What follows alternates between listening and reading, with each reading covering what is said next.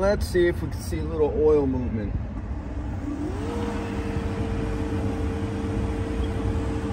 Come on. You see that in there?